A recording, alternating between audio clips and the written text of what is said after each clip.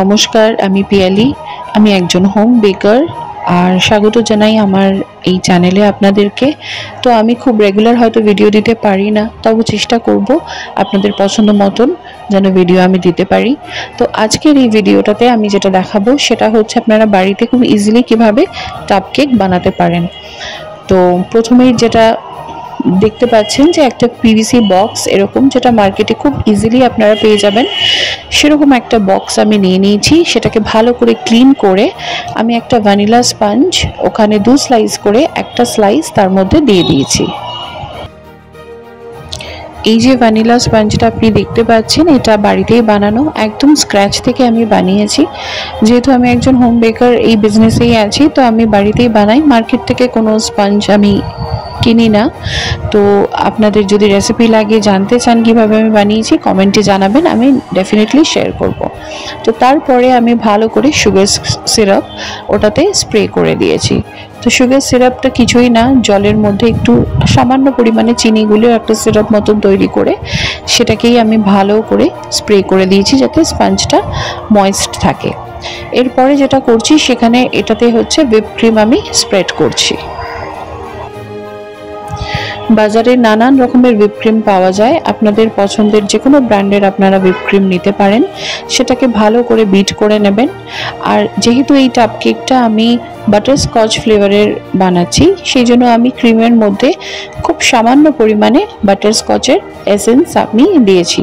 আপনারা যেই ফ্লেভারের বানাতে চান, সেই ফ্লেভারের এসেন্স আপনারা হুইপ ক্রিমে অ্যাড করতে পারেন। এবার ক্রিমটাকে ভালো করে একটু স্প্রেড আউট করে দিচ্ছি, যাতে পরের লেয়ারগুলো সাজাতে আমাদের একটু সুবিধা হয়। আপনারা চাইলে ওটাকে চামচ দিয়েও স্প্রেড আউট করতে পারেন, কোনো ব্যাপার না। তো এরপরে আমি যেটা এখানে অ্যাড করছি, সেটা হচ্ছে বাটারস্কচ ক্রাশ এটাও আপনারা বাজারে খুব সহজে পেয়ে যাবেন। তো এটাকে আমি এখানে দু চামচ, দু চামচের একটু সামান্য বেশি, ছোট চামচের এখানে দিয়ে দিয়েছি। দিয়ে এটাকেও ভালো করে চামচের সাহায্যে আমি স্প্রেড করে নিয়েছি। আপনারা যেই ফ্লেভারে বানাতে চান, সেই ফ্লেভারের ক্রাশ আপনারা কিন্তু অ্যাড করবেন। দেখুন, এইভাবে চামচের সাহায্যে এটাকে পুরো টাপটার মধ্যে ভালো করে ইভেনলি স্প্রেড করে আমি নিয়েছি।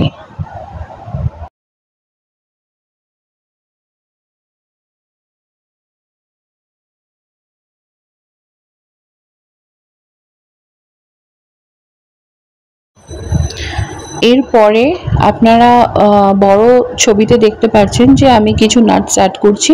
ওটা হচ্ছে বাটারস্কচ নাটস যেটাও আমি বাজার থেকে কিনেছি। খুব ইজিলি আপনি পেয়ে যাবেন। কিন্তু তার আগে আমি এখানে ক্যারামেল সিরাপ স্প্রেড করেছি, যেটা কোনো কারণে ভিডিওটা আমি অ্যাড করতে ভুলে গেছি। সেই জন্য বাদিকের সাইডে আমি দিয়ে দিয়েছিলাম। আপনারা খেয়াল করে দেখে নেবেন। বাস বাটারস্কচ নাটস অ্যাড করার পরে আবার সেম রিপিট আবার আমি সেকেন্ড যেই স্পঞ্জটা ছিল সেটা আমি অ্যাড করে দিয়েছি। আবার সুগার সিরাপ আমি অ্যাড করে হুইপ ক্রিম যেরকম আমি ফার্স্ট লেয়ারে দিয়েছিলাম, সেইভাবেই আমি এখানে সাজিয়ে দিচ্ছি।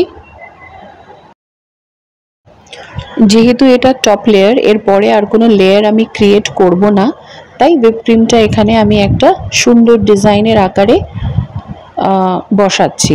আপনারা যেরকম খুশি সেরকম ডিজাইন করতে পারেন, সেটা আপনাদের একান্ত চয়েস তো হুইপ ক্রিমটাকে খুব সুন্দর করে ডিজাইন করে দেওয়ার পরে আমি আবারও ক্যারামেল সিরাপ এখানে ভালো করে স্প্রেড করে দিচ্ছি। যেহেতু এটা ক্যারামেল বাটারস্কচ ফ্লেভার তাই। তো দেখুন, খুব সুন্দর করে আমি ক্যারামেল সিরাপটা এখানে স্প্রেড করে দিয়েছি।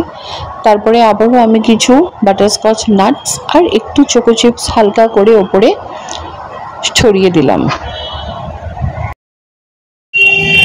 চোকো চিপসটা একদমই অপশনাল বাটারস্কচ ফ্লেভারের সাথে যেহেতু বাটারস্কচ নাটসই বেশি ভালো লাগে, আমি চোকো চিপসটা দিলাম, একটু কালার কম্বিনেশনটাও ভালো লাগবে, দেখতে হাইলাইট করবে, আর অবশ্যই খেতে একটু ভালোই লাগবে।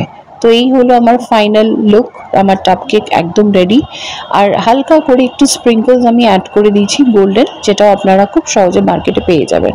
ভালো লাগলে সাবস্ক্রাইব করবেন থ্যাংক ইউ